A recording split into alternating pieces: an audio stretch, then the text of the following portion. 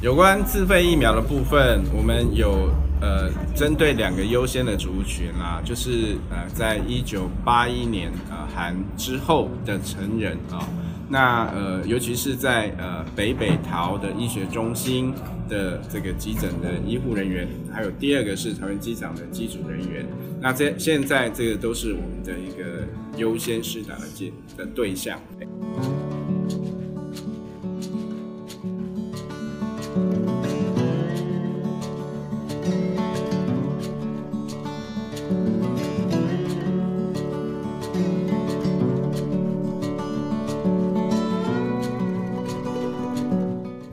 除了原本的疫苗政策，我们一起来配合国家的政策以外，在这个时间点，我们尽量做好自我保护的原则。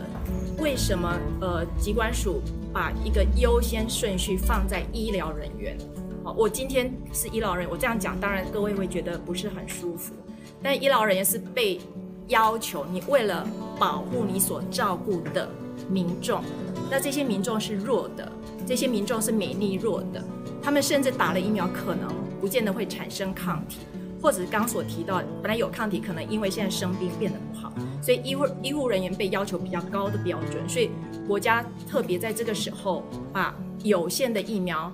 呃，保留给因为工作他是为了照顾别人，所以他们必须去接受疫苗施打。